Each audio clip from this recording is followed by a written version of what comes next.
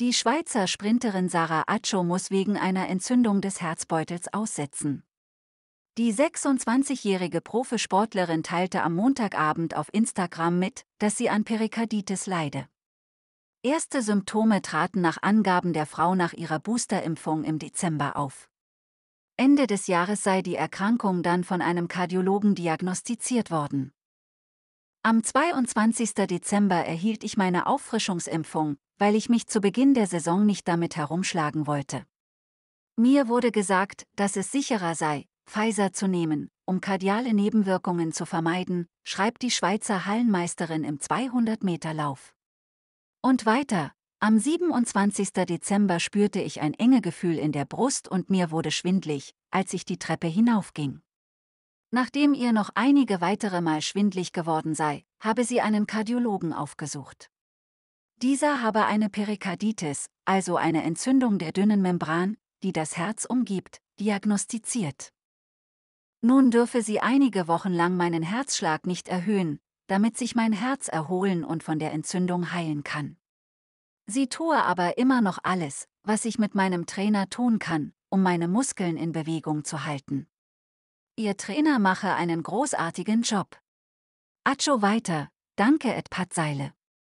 Die 26-Jährige schreibt zudem, sie versuche so transparent wie möglich zu sein, das sei jetzt wichtiger denn je. Dann schreibt Sarah Acho, dass sie sich über die Situation aufrege, weil wir nicht genug über die Nebenwirkungen sprechen. Ich fühle mich hilflos, da ich keine Kontrolle darüber habe. Zwar sei sie froh, dass der Impfstoff dazu beigetragen hat, viele Todesfälle zu vermeiden und den Druck auf die Krankenhäuser und das Krankenhauspersonal zu verringern. Gleichwohl sei sie frustriert, dass ich und andere junge und gesunde Menschen unter diesen schweren Nebenwirkungen leiden.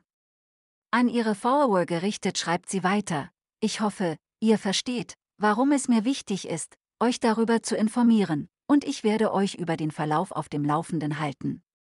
Lasst mich wissen, wenn ihr dasselbe erlebt, lasst uns einander helfen. Hier der übersetzte Originalbeitrag von ihrer Instagram-Seite.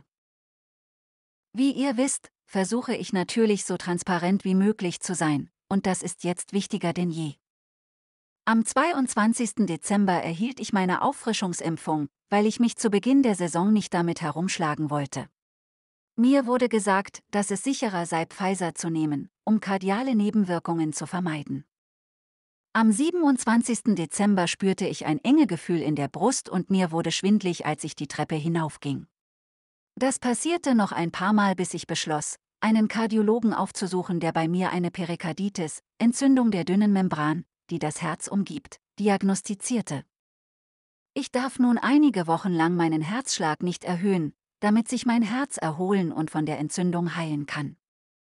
Ich tue immer noch alles, was ich mit meinem Trainer tun kann, um meine Muskeln in Bewegung zu halten, und er macht einen großartigen Job. Danke, Ed Patseile.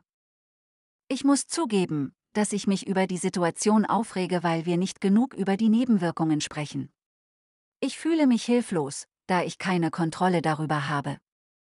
Ich bin froh, dass der Impfstoff dazu beigetragen hat, viele Todesfälle zu vermeiden und den Druck auf die Krankenhäuser und das Krankenhauspersonal zu verringern, aber ich bin frustriert, dass ich und andere junge und gesunde Menschen unter diesen schweren Nebenwirkungen leiden.